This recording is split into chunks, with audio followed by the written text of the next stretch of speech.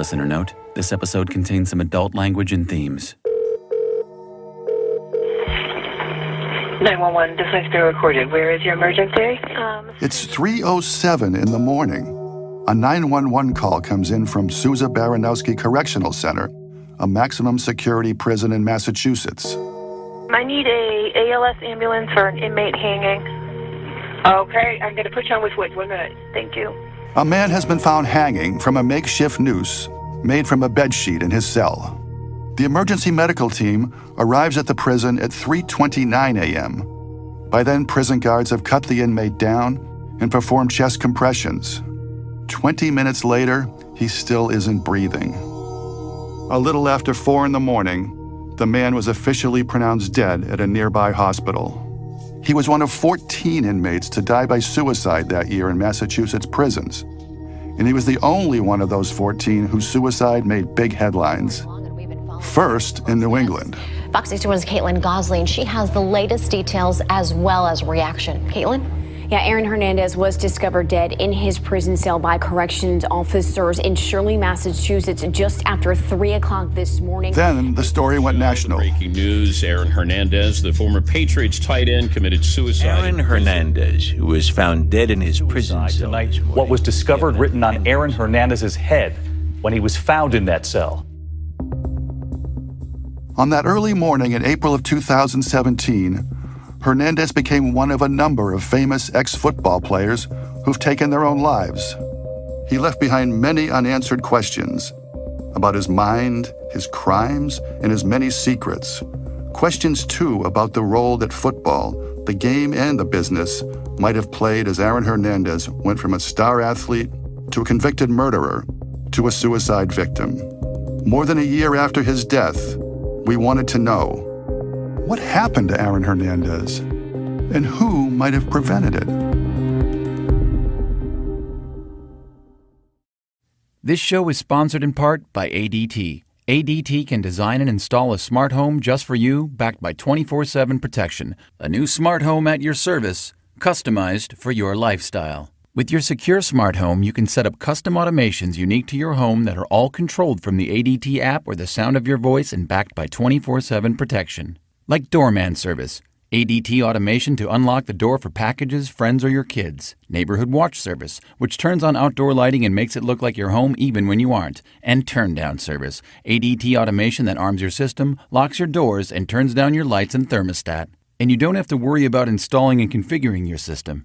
ADT will do it for you. Visit ADT.com slash podcast to learn more about how ADT can design and install a secure smart home just for you. That's ADT.com slash podcast.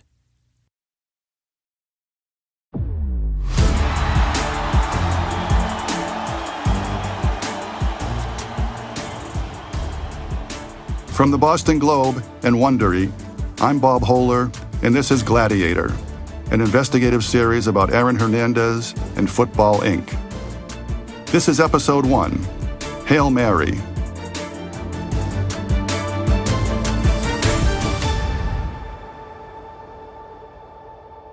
I'm a longtime sports writer, but this is not your typical sports story. I've been assigned to the Globe's investigative spotlight team.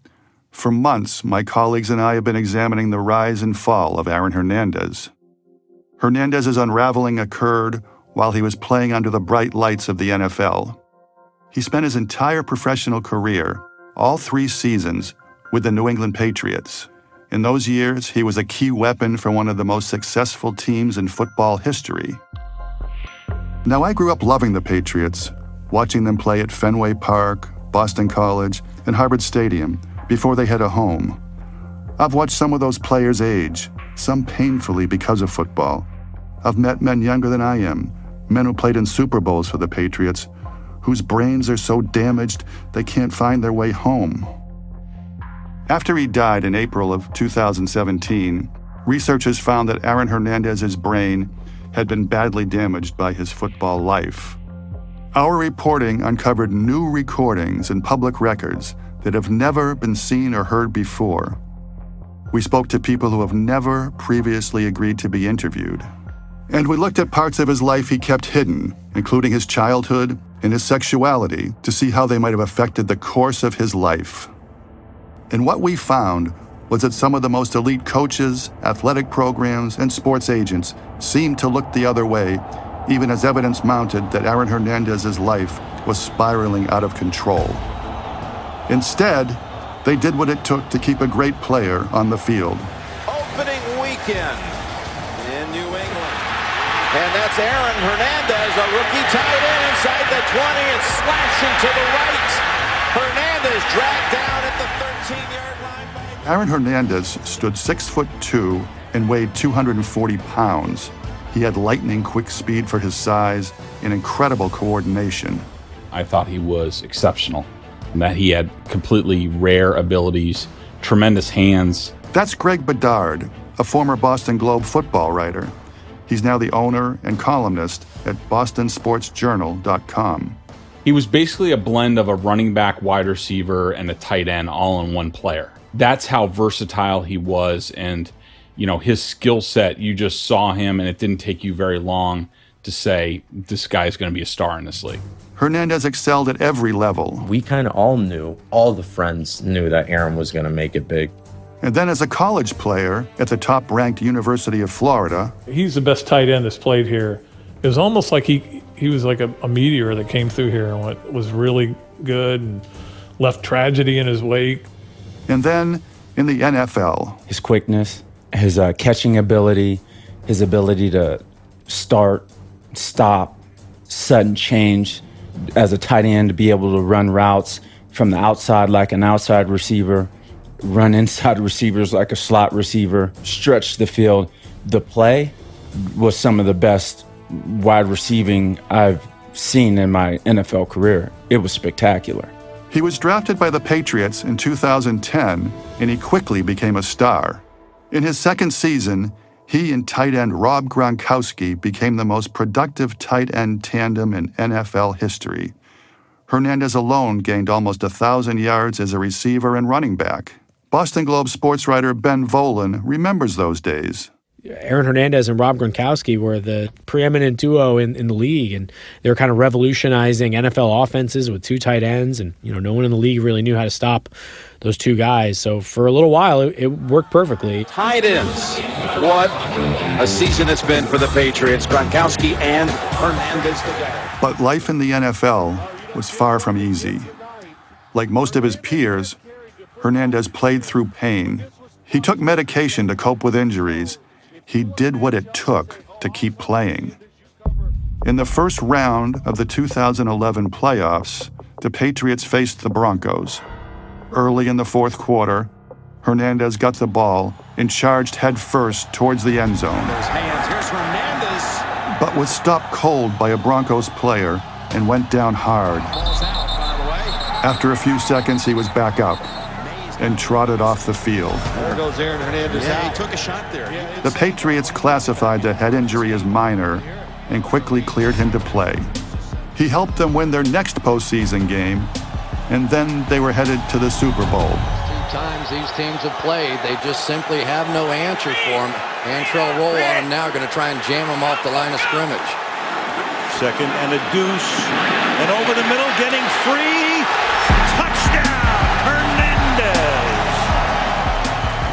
On February 5th, 2012, with all of America watching, Hernandez's touchdown gave the Patriots their biggest lead of the Super Bowl, 17 to 9. In the end zone, he performed a touchdown celebration. In front of millions of television viewers, he simulated unlocking a bank vault, yanking out an armful of dollar bills, and tossing them in the air. I was there, helping to cover the game for the Globe, and I thought, there goes another showboating NFL star. But in the fourth quarter, the Giants rallied. Brady, he's going to get sacked at the 13-yard line. That's just in time. Take the timeout. 16. With 57 seconds to play, Patriots quarterback Tom Brady, a master of last-minute comebacks, attempted seven passes, four of them to Hernandez and the Patriots still had a chance to win the game on the final play with a Hail Mary pass. Brady, barring a defensive foul, the game ends here. to the end zone. Hernandez is there. Tipped and batted. Gronkowski can't get it. Incomplete. The Patriots lost 21 to 17, but Hernandez's star was rising. In only his second season, he had commanded the spotlight in football's biggest moment. Uh, you know, I don't know how old Aaron was at the time, you know, 22, 23, but he's on, you know, arguably the best team in football. That's Brian Murphy, his agent. He's young. He uh, is playing at a high level, and I'm sure he expected that this would be one of many Super Bowl opportunities for him. So I think that was not, he was disappointed to lose, but he thought, hey, we'll get him next year and the next year and the next year and the next year. But it would be his first and only Super Bowl appearance.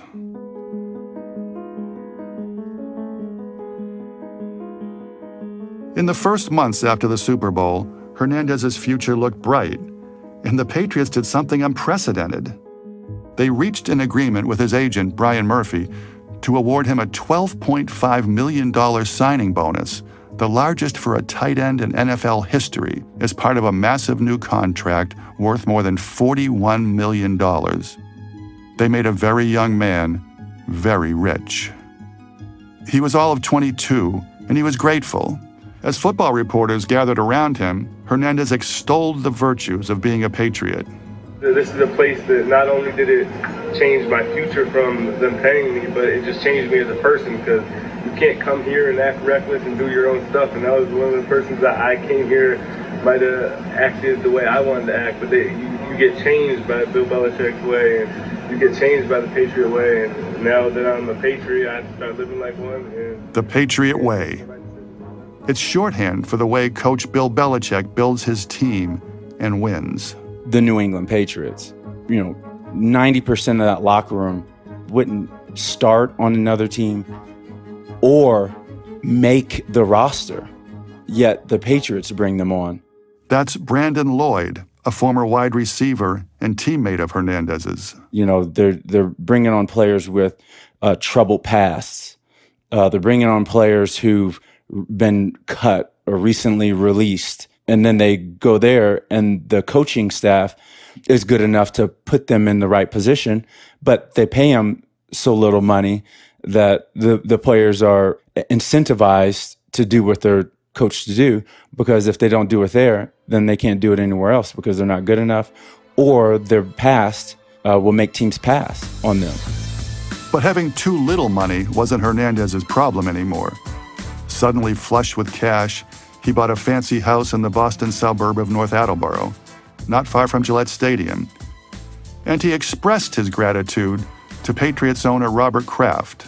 And I know he had a unusually close relationship with some of the uh, coaching staff. I know he was very fond of Mr. Kraft, which is why he made the $50,000 donation to the Myra Kraft Foundation when he signed his big contract.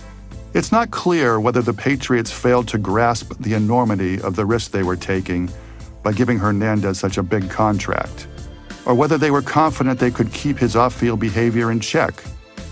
Either way, it wouldn't be very long before he began to spiral out of control very publicly.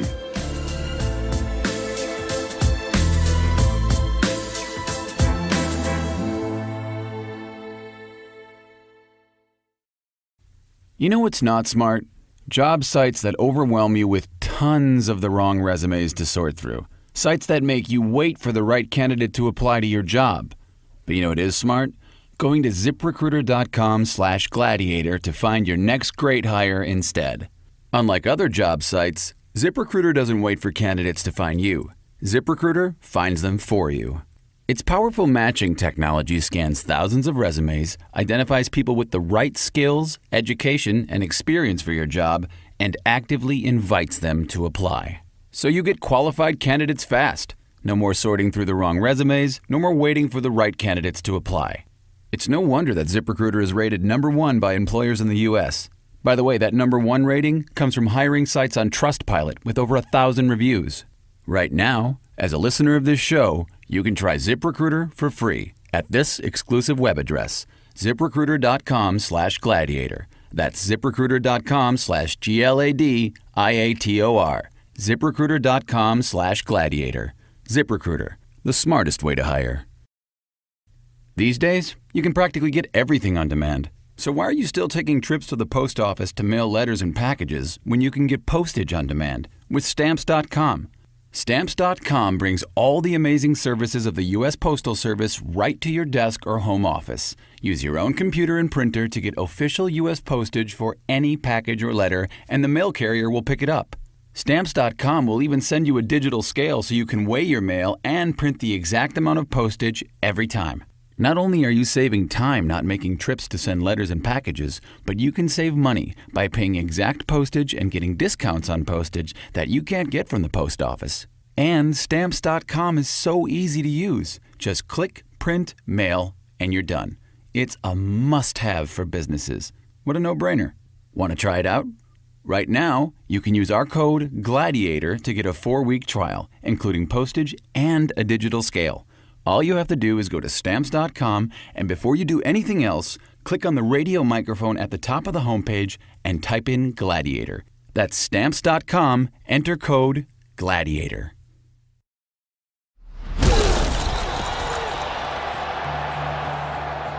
The Patriots owners were placing a big bet on Aaron Hernandez's future. He's one of the best tight ends I've ever played against. But maybe they should have talked more with his teammates first. He was also very difficult, you know, as a, as a person.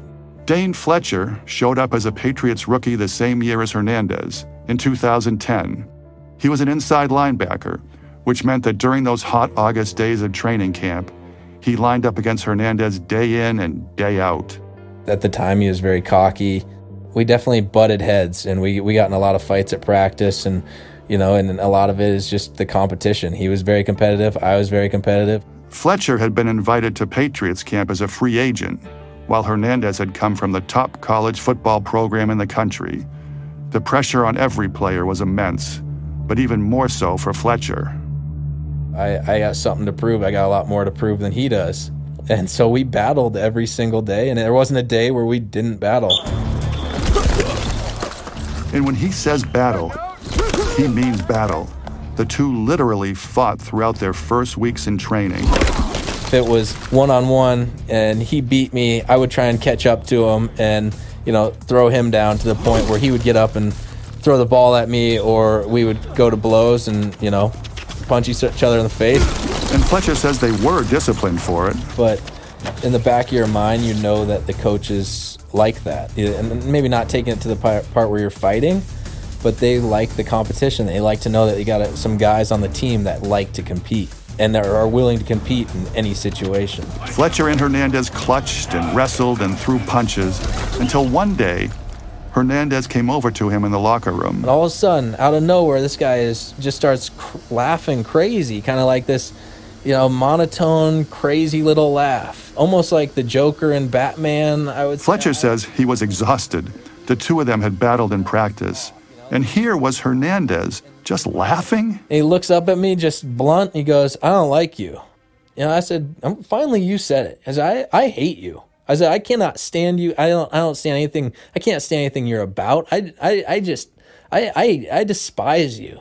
And he. That's why he started laughing. He goes, "Hey, but here's the deal. I respect you." Fletcher couldn't help but laugh, and from then on, Hernandez, Chico is what we call them, and Fletcher became friendlier. Not super close, he says, but they hung out together away from practice. I considered Chico my friend, and uh, we had some funny laughs in the locker room and whatnot. This is something we heard time and time again about Aaron Hernandez. He could be a goofball, a cut up. He always had a big smile on his face. Here's sports reporter Greg Bedard again. This was a guy who you would see almost every day playing with the sons and daughters of staffers, assistant coaches after training camp practice. And so the people that spend the most time with him have no problem putting their kids in his hands. And you're just like, okay, he's got the tattoos and stuff, but really underneath, he's a really good guy. But Brandon Lloyd, who joined the Patriots at the start of Hernandez's third season, learned about his disturbing behavior right away. I was warned by Wes Welker the first day of school, walking into the locker room, uh, walking to my locker, and he stops me and kind of touches me on my on my shoulders and he's looking at me wide-eyed in my face and he says, "Your locker is in between Gronkowski and Hernandez. I just want to warn you that he's going to uh, talk about being bathed by his mother. He's going to have his genitalia out in front of you while you're sitting on your stool. He's going to have his towel and try to dry off in front of you while you're sitting at your locker. He's going to talk about gay sex. Just do your best to ignore it, even walk away.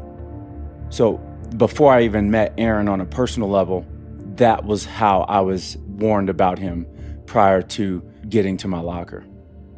Lloyd tried to steer clear. Maybe he's just looking for attention because he, he was uh, very immature at times, more immature than a sports locker room because we played gay all the time. we played grab ass, flipping towels, like all the cheesy stuff that happens in uh, sports movies where they lampoon a sports locker room. It happens. But the things that he was talking about was more so. It it was it was more graphic than us um, us slapping each other on the ass and laughing and giggling like normally happens in a male locker room. But he couldn't avoid interaction with his new teammate entirely. There would be swings where he'd be the most hyper masculine, aggressive individual in the room, where he'd be ready to fight somebody in, in fits of rage. Or he'd be the most sensitive person in the room talking about cuddling with his mother. Or he'd ask me, Do you think I'm good enough to play? So we had these moments where we did get along well.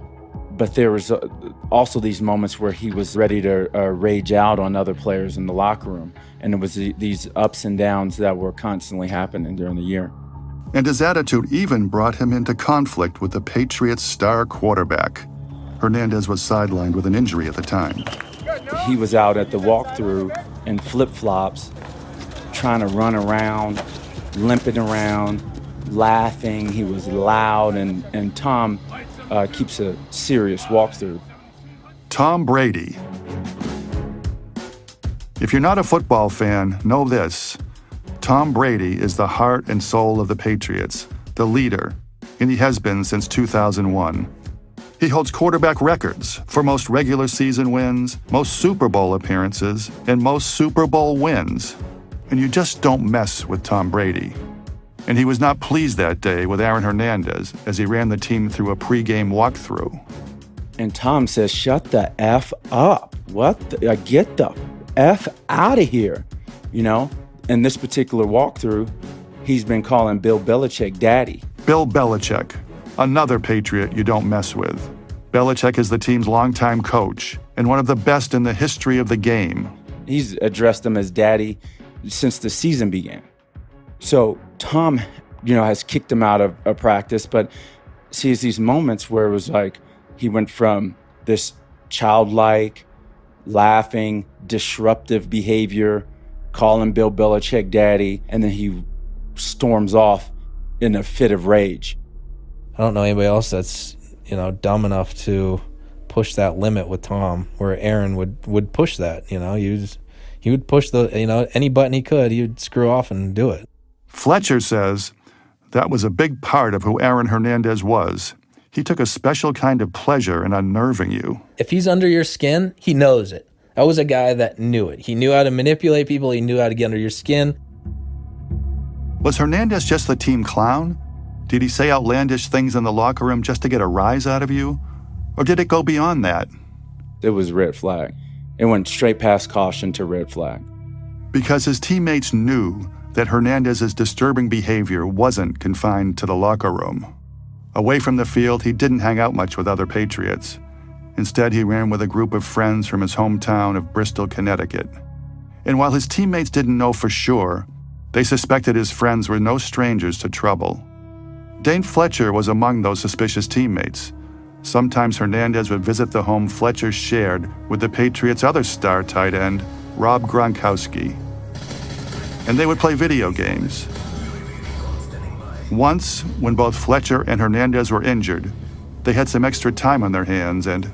I was like, hey, you know, I'll, I'll get a limo for the night. Let's go downtown, enjoy life a little bit. Hernandez was up for it, but Fletcher had something to tell him first.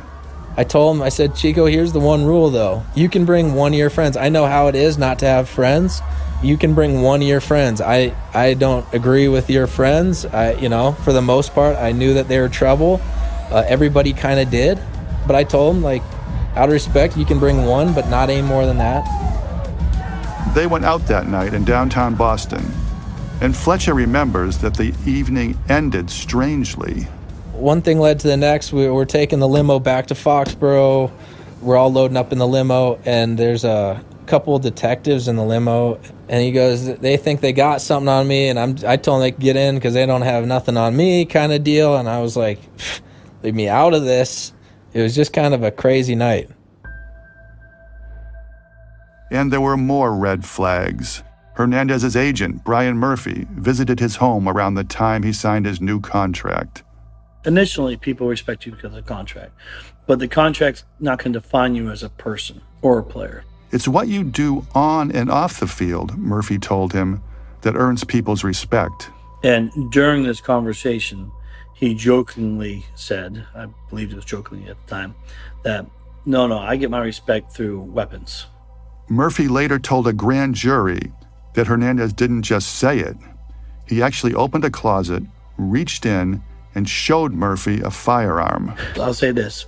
Certainly wasn't a joke that I would make. You know, like I, I didn't grow up in a world where people got their respect through weapons. And I think it was probably, you know, a little bit of insight into the world he did grow up in, and, and that it was one where people uh, garnered respect through weapons, uh, I would assume, you know. And so, in every joke and every um, comment, there's always a, a, lining of truth to it, right? Um, I knew he was joking, but I think my response to the comment was, Aaron, like, that's exactly what I'm talking about. That's not what people who sign second contracts and are, are Pro Bowl tight ends say or do or, you know, even joke about.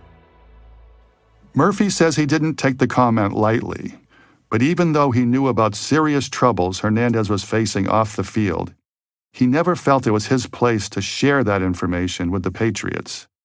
Instead, he says he saw his role as a mentor. You know, 90% of my time with Aaron was trying was, you know, encouraging him to to become a better person. And we all need to become better. And then it just I just in some ways I felt a real sense of failure. You know, and I know part of your story here is how could we have stopped this? How could we have prevented this? And my job's not just to negotiate a huge contract or get in marketing dollars or whatnot. It's to help him become the best person he can be. And I failed miserably in that regard. Not long after, Hernandez became a father. His fiancee, Shayanna Jenkins, gave birth to a baby girl on Hernandez's 23rd birthday. I was proud of him because here he is. He just signed this deal. He had his daughter. He's, you know, for me, he finally pulled his head out. You know, like okay, you're not an idiot anymore. You know, and to now he's actually working for something and playing for something, not just himself. But there were other, darker things unfolding in Aaron Hernandez's life, away from the stadium lights. Still, looked at from one angle, the angle where you see the million dollar home, the $41 million contract, and the new baby girl with his fiancee. It was a time of hope and promise. Yet any hope that Dane Fletcher or any other teammate had for Hernandez would soon begin to fade amid a flurry of lurid headlines.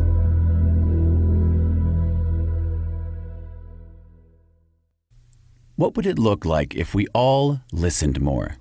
Just like listening to podcasts, listening to audiobooks motivates us, inspires us, it can even bring us closer together. And there's no better place to listen than Audible, because now Audible members get even more exclusive audio fitness programs, audio books, Audible originals, and more. One title I recommend is Outliers The Story of Success by Malcolm Gladwell, in which the author asks the question What makes high achievers different?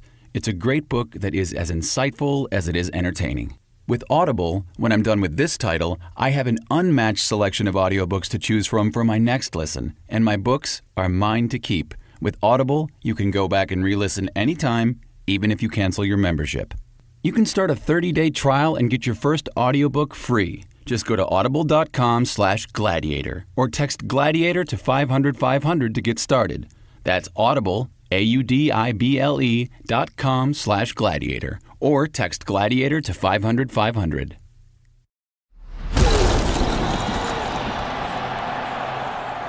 On June 16, 2013, 10 months after he received his big contract and eight months after the birth of his daughter, the fragile balance of Aaron Hernandez's life tipped forever. In the morning, he got on Twitter and posted a shout out Happy Father's Day. That night, he went to dinner with his fiancee Shayanna at a Providence cafe. Patrons saw him smoking weed outside, and the bar manager said the tab for Hernandez, Jenkins, and two other couples included 11 cognacs, 10 sex on the beach cocktails, 7 beers, and 2 vodkas. Hernandez texted a friend from Bristol from the restaurant to say he wanted to meet up and keep the night going. He wrote, Please make it back because I'm definitely trying to step for a little. Then he texted another friend, Odin Lloyd. It was a convoluted message arranging for them to meet that night. Hernandez paid the bill at 12:20 a.m. What happened next would be pieced together in the coming days and months. The next night, a woman named Ursula Ward received a phone call at her Dorchester home from the Massachusetts State Police. Are you Ursula Ward? I said, Yes, I am. He says, Do you know Odin Lloyd? I say, Yeah, that's my son. She is a single mom, soft spoken, religious. And I asked him, I said, Is my son okay? And he says, Ma'am, I'm going to send two detectives to your house to speak to you. She told us she jumped out of bed and got dressed, and she waited. It's the longest 45 minutes of my life. Finally, the doorbell rang.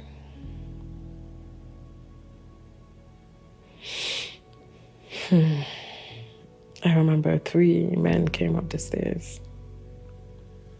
Or four, maybe. And he was asking me a few questions about Odin, and I got so upset because I'm waiting for you to tell me why you're here instead of asking me questions. And I said, Is my son okay?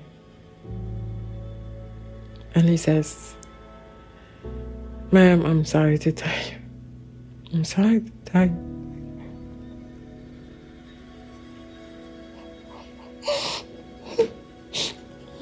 I'm sorry to tell you, but your son was shot and killed.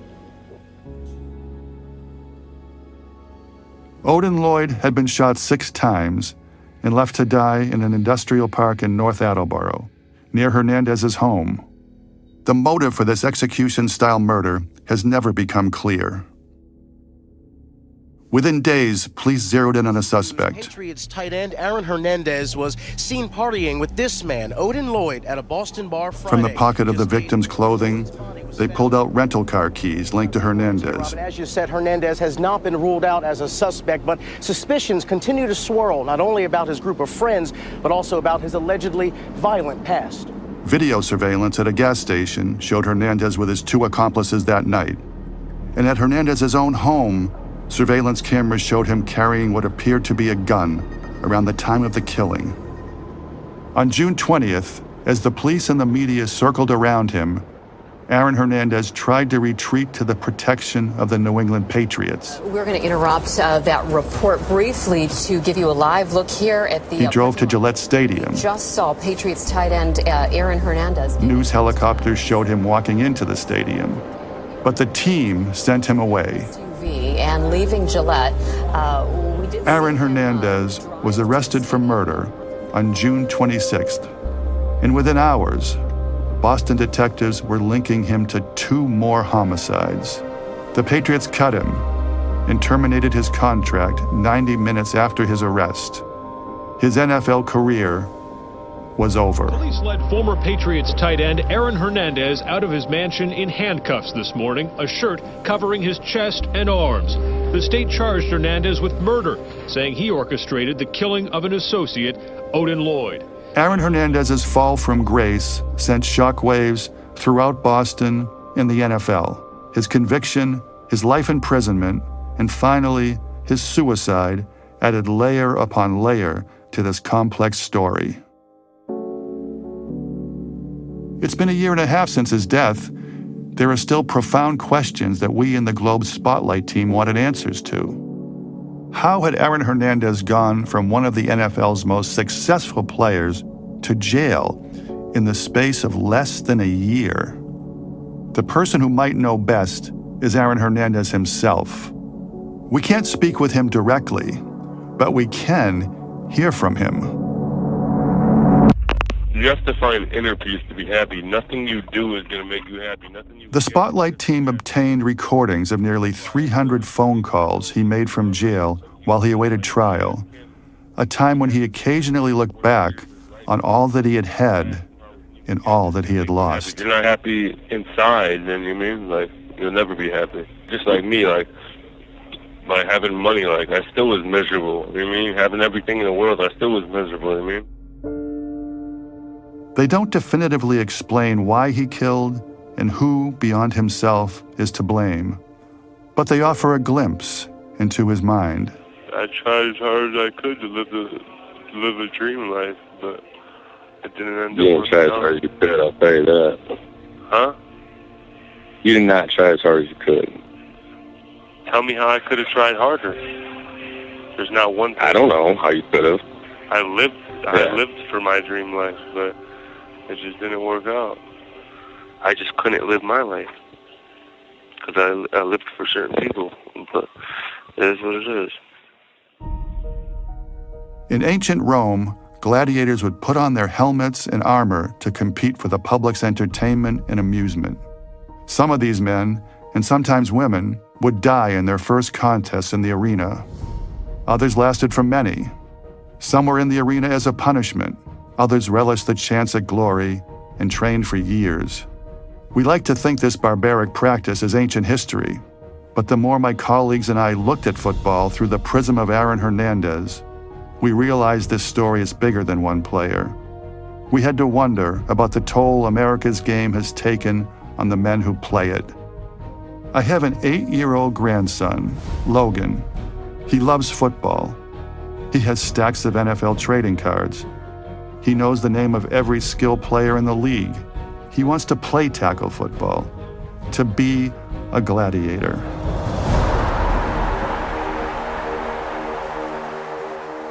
Should we let him? On the next episode of Gladiator, my Spotlight colleague, Beth Healy, will take us back to Aaron Hernandez's childhood in Bristol. You know, you're in school and you see someone act up or someone not do well or this or that, and you're like, they didn't get beat enough. From the Boston Globe and Wondery, this is part one of six of Gladiator, an investigative series from the Spotlight team about Aaron Hernandez and Football Inc. If you'd like to help us spread the word, please give us a review and tell your friends to subscribe. We're available on Apple Podcasts, Spotify, NPR One, and every major listening app, as well as Wondery.com. If you're listening on a smartphone, tap or swipe over the cover art of this podcast. You'll find the episode notes, including some details you may have missed. You'll also find some offers from our sponsors. Please support our show by supporting them. And thank you. You can also read the print series of Gladiator at bostonglobe.com slash gladiator. Gladiator was written, reported, and hosted by me, Bob Hohler, and by Beth Healy, Sasha Pfeiffer, Andrew Ryan, and our Spotlight editor, Patricia Wen.